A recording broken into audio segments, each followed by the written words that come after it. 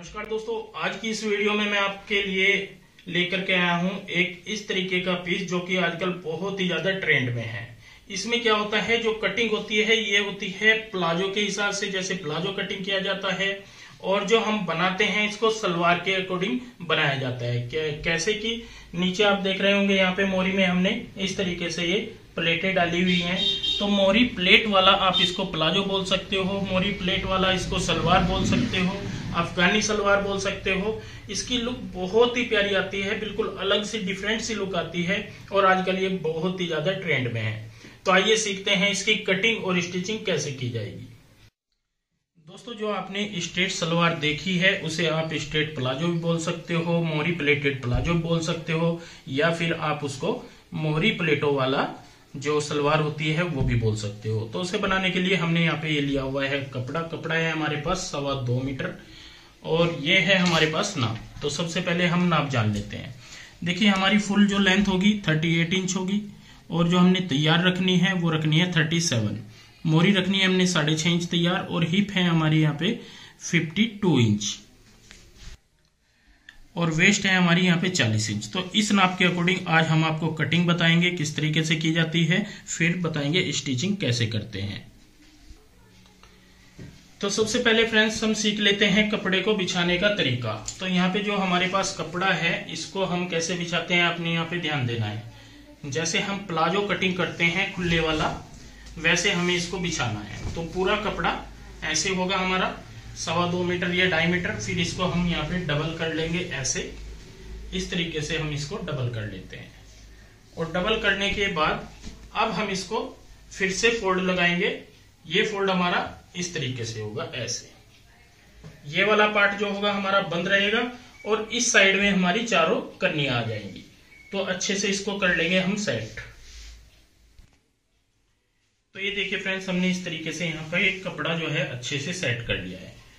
अब बात करें फोल्ड की, एक हमारा यहाँ पे ये होगा, दूसरा, फिर तीसरा और चौथा।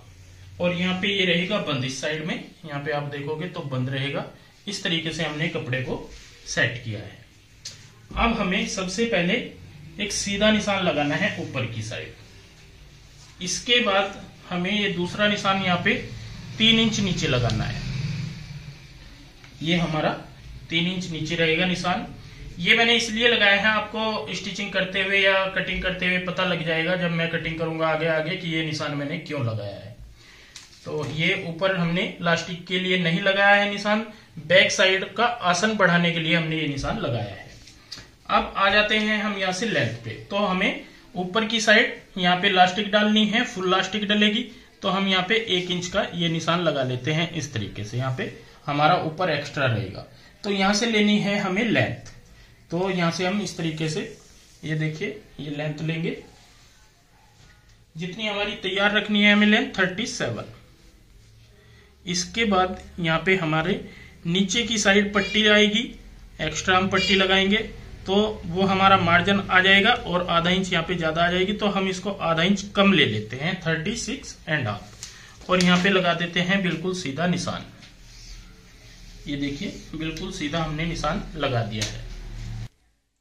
तो यहाँ पे पूरा लेंथ का हमने निशान लगा लिया है, इसके बाद हमें आसन का निशान लगाना है। इंच टेप को ऐसे ही रखेंगे देखिए, हमारी फुल लेंथ है यहाँ पे थर्टी एट इंच तो इसका चौथा भाग होगा हमारा नौ चौक छत्तीस साढ़े नौ इंच इसके बाद हमें इसमें साढ़े तीन इंच यहाँ पे बढ़ा लेना है।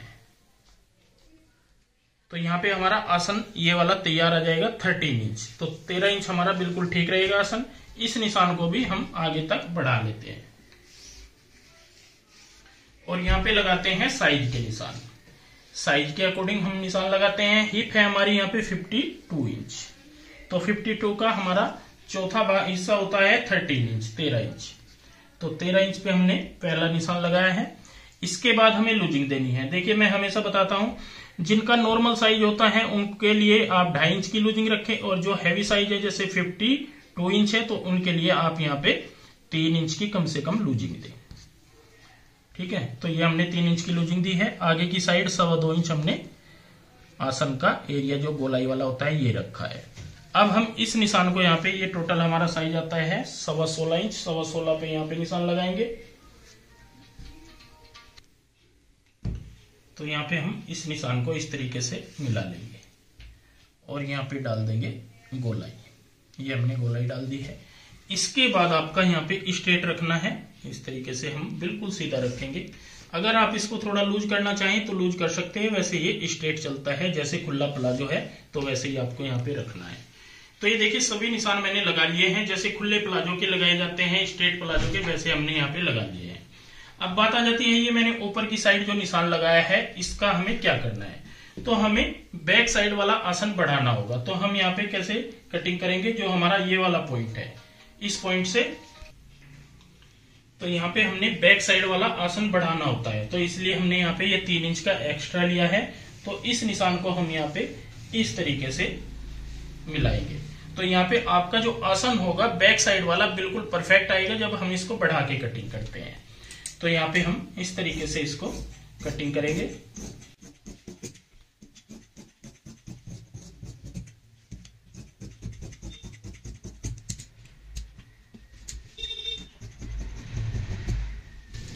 तो ये देखिए फ्रेंड्स हमने यहाँ पे एक कटिंग जो है अपनी कर ली है। इसके बाद आप यहाँ पे देख रहे होंगे कि हमने चारों पल्ले बढ़ा के कटिंग किए हैं। तो अब हमें यहाँ पे क्या करना है?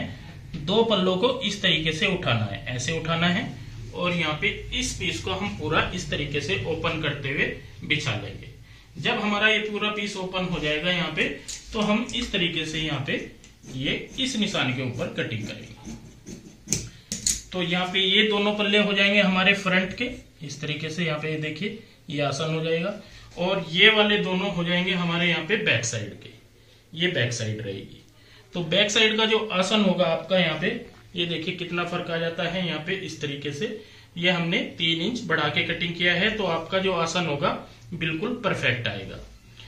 अब कटिंग कंप्लीट होने के बाद, अब हमें यहाँ पे ध्यान देना है। जैसे आपने ये देखा है, प्लाजो जो है प्लेटो वाला।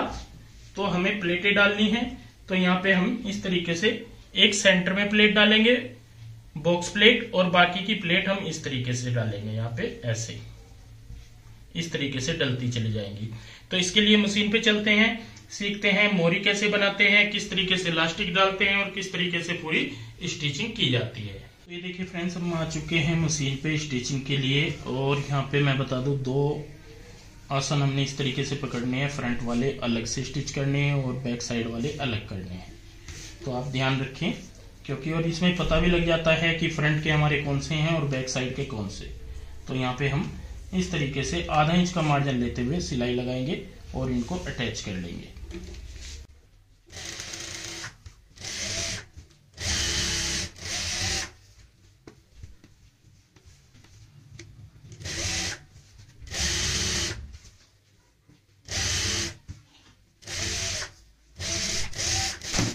फ्रेंड्स हमने इस तरीके से यहाँ पे फ्रंट का आसन जोड़ लिया है और नीचे वाला हमारा बैक साइड का होगा। अब इन आसन को हम यहाँ पे ऐसे मिला लेते हैं। तो आप देखोगे यहाँ पे बैक साइड वाला आसन हमारा बड़ा है और फ्रंट का छोटा है। तो इन चीज़ों का आपको ध्यान रखना है। अगर आपको परफेक्ट स्टिचिंग सीखनी हो और परफेक्ट काम करना हो तो इन छोटी छोटी चीज़ों का ध्यान रखना ज़रूरी होता है। इसके बाद हम यहाँ पे लास्टिक डालेंगे ऊपर के साइड तो लास्टिक डालने के लिए हमने यहाँ पे ये पट्टी ली है। इसकी चौड़ाई लेनी है आपने चार से सवा चार इंच की। ये देखिए, चार से सवा चार इंच की हमारी यहाँ पे ये पट्टी है। इसको हम पहले अटैच करेंगे। तो यहाँ पे हम इस तरीके से रखेंगे, ऐसे। किसी भी पॉइंट से आप अटैच कर सकते हैं, कोई ऐसा नहीं है कि आपने ऐसा कुछ देखना है। तो यहाँ पे हम आधा इंच का मार्जिन लेना है और इस तरीके से पूरी पट्टी को अटैच कर लेना है।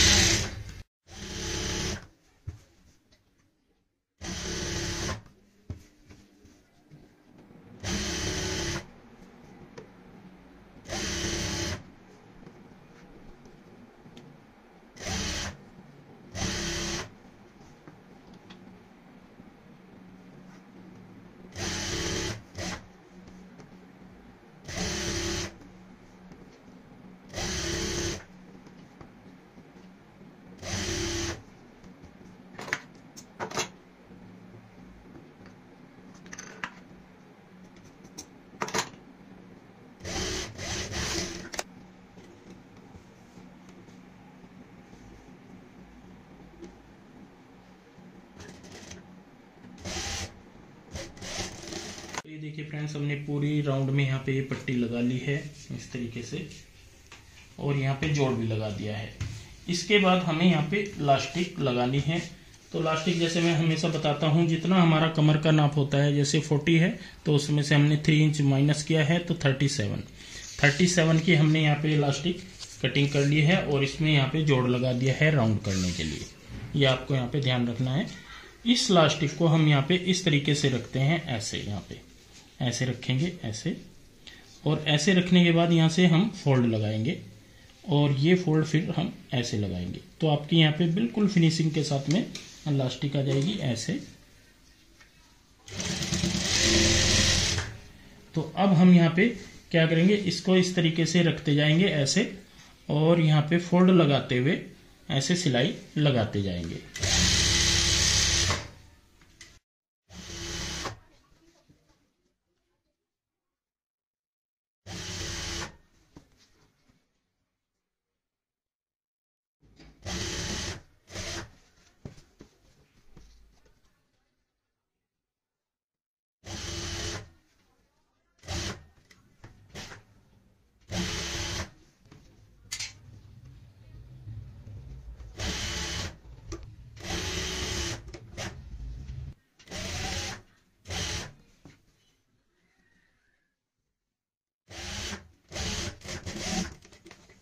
तो ये देखिए फ्रेंड्स, हमने इस तरीके से ये इलास्टिक यहाँ पे डाल ली है। लेकिन अभी क्या होगा, हमारा कहीं पे बल ज़्यादा है और कहीं पे कम है तो इसको हम इस तरीके से सभी जगह से ऐसे खींचेंगे। और तीन चार बार इसको आपने इस तरीके से खींचना है तो चारों साइड हमारी बिल्कुल अच्छे से बल आ जाएँगे। देखिए, चारों साइड में बिल्कुल फिक्स आ चुके हैं इस तरीके से। अब हम इसके सेंटर पॉइंट में एक सिलाई लगा देंगे, जिससे कि ये अंदर की इलास्टिक घूमती नहीं है, पलटती नहीं है। तो यहाँ पे सेंटर की सिलाई लगा लेता हूँ।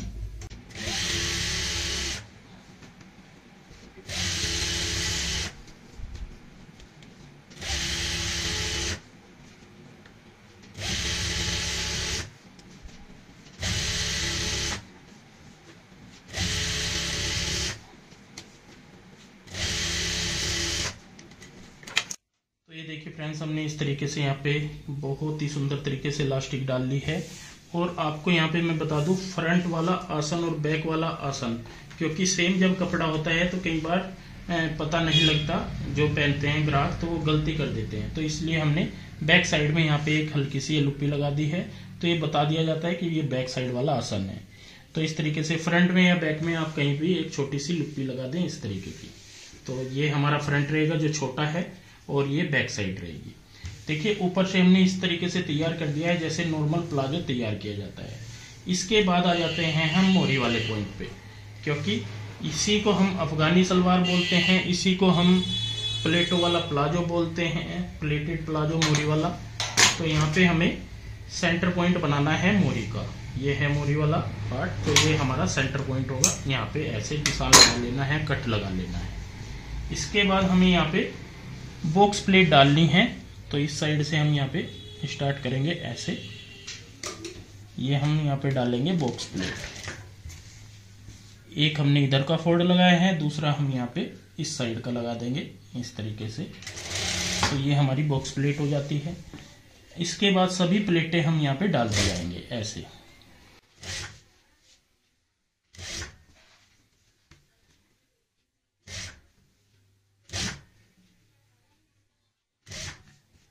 हमने यहाँ पे साइज़ रखना है मोरी का साढ़े छः इंच तो ये देखिए, ये प्लेटें हमारी बिल्कुल ठीक आ रही हैं। यहाँ पे एक दो प्लेट डलेगी तो बिल्कुल ठीक आ जाएगा। तो यहाँ पे हमने एक प्लेट ये और डाल ली है। इस, इसके बाद फिर चेक कर लेते हैं सेंटर से, यहाँ से आपको चेक करना होगा। तो यहाँ पे हमारी सिलाई आ जाएगी पहुँचे की।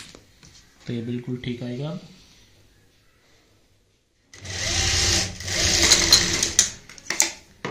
तो ये देखिए, यहाँ पे हमने प्लेट डाल ली है। तो ये टोटल हमारी प्लेट आई हैं। एक, दो, तीन, चार, पाँच छः सात और ये बॉक्स प्लेट आठवीं। तो हम सात प्लेट ही इस साइड में डाल लेंगे।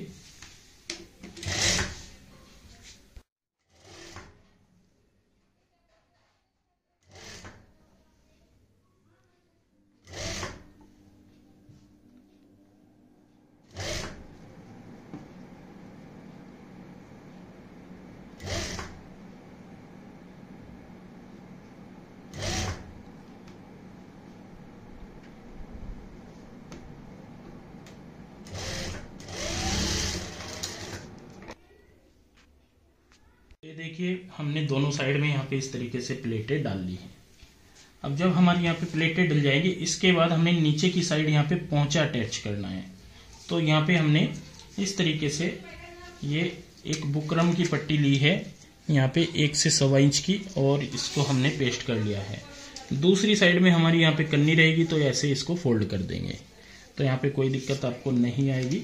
अगर करनी नहीं है तो आप इसको फोल्ड कर ले। तो कैसे भी करके आपने यहाँ पे ये अटैच करनी है, जैसे नॉर्मल बेल्ट की जाती है।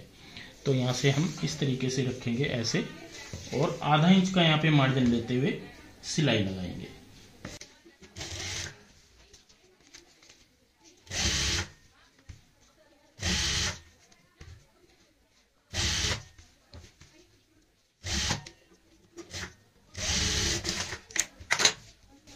इसके बाद हम यहाँ पे इसको इस तरीके से पलटते हुए और यहाँ पे ये मार्जिन का ध्यान रखेंगे। ये अंदर की साइड रखना है और ऊपर से सिलाई लगा देनी है किनारे की।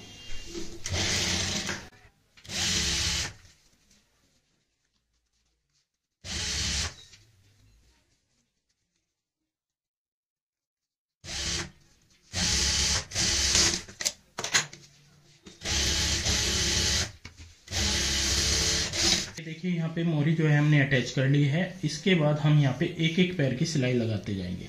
तो यहाँ पे पूरी मोरी को हमने कवर करना है सिलाइयों से।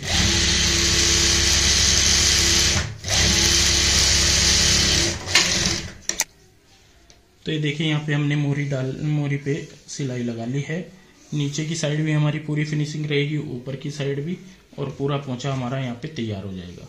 तो जैसे मैंने ये वाला पोंछा तैयार किया है सेम दूसरा करने के लिए भी हमने यहाँ पे बुकरम पेस्ट की है तो दूसरा पोंछा भी हम तैयार कर लेते हैं। तो ये देखिए फ्रेंड्स हमने एक मोरी यहाँ पे ये तैयार कर ली है, दूसरी मोरी हमारी यहाँ पे ये तैयार हो जाती है। इसके बाद हमें यहाँ पे इनको सीलना है यहाँ से साइड से। तो ऐसे हम यहाँ पे इस तरीके से रखेंगे और मिलाएँगे। और यहाँ पे जितना भी आप नाप रखना हो, कम ज़्यादा आप यहाँ पे रख सकते हो। मैंने रखना है साढ़े छः इंच। तो हम यहाँ पे साढ़े छः इंच के हिसाब से निशान लगा लेते हैं ऐसे। और यहाँ पे बिल्कुल सीधी हम सिलाई लगाएँगे।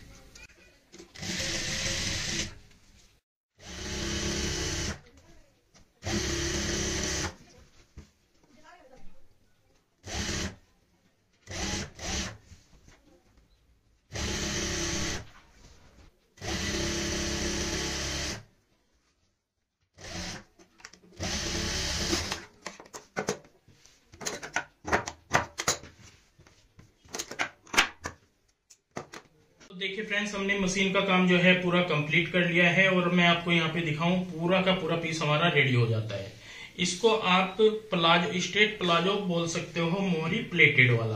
तो मोहरियों में जिसमें प्लेटें डलती हैं, वो हमने यहाँ पे प्लाजो तैयार कर दिया है। ऊपर की साइड यहाँ पे आप देख रहे होंगे फ्रंट जो है हमारा यहाँ पे ये आसन फ्रंट वाला है, क्योंकि ये छोटा है और बैक साइड हमने बढ़ा के कटिंग की है तो बैक साइड भी हमारी पूरी प्रॉपर यहाँ पे ऐसे आ जाएगी। पूरा कंफर्टेबल रहेगा, बहुत ही सुंदर लगता है पहनने के बाद और एक अलग सी ही इसकी लुक आती है। तो फ्रेंड्स इस तरीके से आप किसी भी कपड़े में से दो सवा दो मीटर जो कपड़ा होता है, आप इस तरीके से बहुत ही प्यारी सी ये प्लाजो बना सकते हो, जिसमें प्लेटें डलती हैं मोरी वाले पार्ट में।